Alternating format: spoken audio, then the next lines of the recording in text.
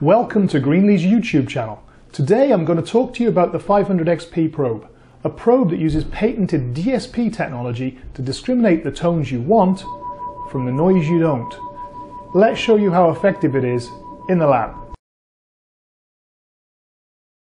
We have five pairs here, one carrying potentially dangerous power, perhaps as a result of a power cross, which results in lots of power influence hum. Another is carrying a noisy data signal that causes significant audio band interference.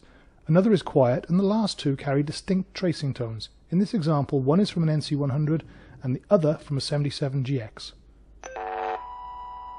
I switch on the 500XP, allow it to do its self-test, seeing the green LED with the second tone.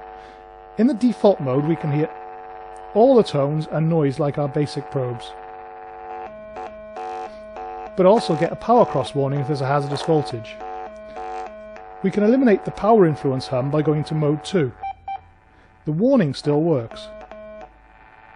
And we still pick up the noisy lines and the tones are there. But we can clearly discriminate those tracing tones with the third mode, adding filters that enable the LEDs to respond directly to the tracing tones.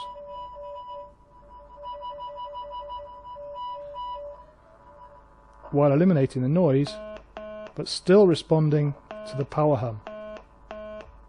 Greenlee offer a three-year warranty on 500XP and other Nautilus products because we don't just make them tough, but water resistant too.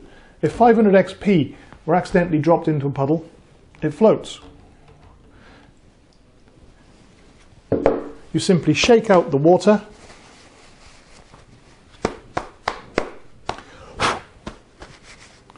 Give it a wipe down. And it works. The 500XP also now adds the capability of using a headset for privacy or discreet operation. The headset simply plugs into the back of the unit for use in quiet areas. 500XP, it discriminates the tones you want, eliminating the noise you don't. 500XP is built tough for the outside plant environment.